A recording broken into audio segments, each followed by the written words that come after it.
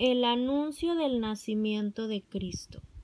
Al sexto mes el ángel Gabriel fue enviado por Dios a una ciudad de Galilea llamada Nazaret, a una virgen desposada con un varón que se llamaba José, de la casa de David, y el nombre de la virgen era María.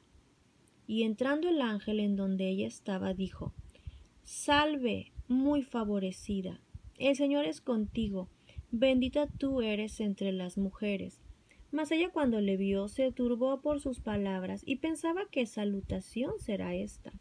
Entonces el ángel le dijo María, no temas, porque has hallado gracia delante de Dios.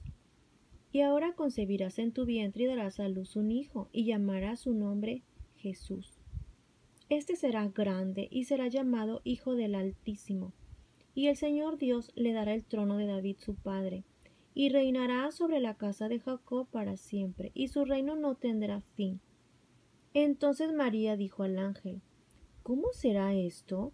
Pues no conozco varón.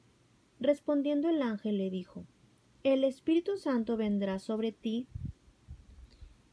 y el poder del Altísimo te cubrirá con su sombra, por lo cual también el santo ser que nacerá será llamado Hijo de Dios.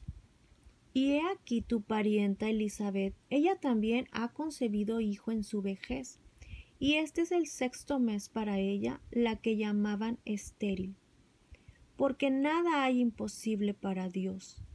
Entonces María dijo, He aquí la sierva del Señor, hágase conmigo conforme a tu palabra. Y el ángel se fue de su presencia. Amén.